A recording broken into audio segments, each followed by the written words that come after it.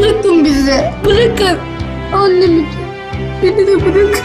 Ya düşünebiliyor musunuz? Elif'im o kıymet hanımın elinde şu an. Beni arayıp bu kadın telefonla arayıp Elif'imin sesini bile dinletti. Bana bak anne. Böyle telefonlarını kapatarak benden kaçarak bu işten sıyrılamazsın haberin olsun. Bir yere kaçtığım yok. Kimseden de korkum yok.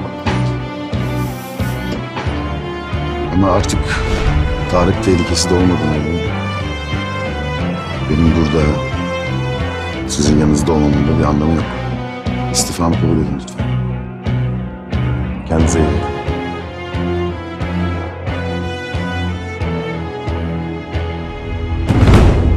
Elif yeni bölümüyle bu akşam Kanal 7'de.